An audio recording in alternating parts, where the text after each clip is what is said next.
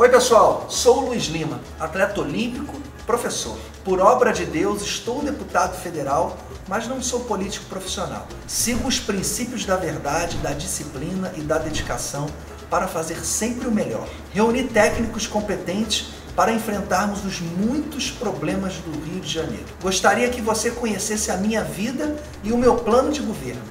Com informação, vamos decidir o futuro do Rio.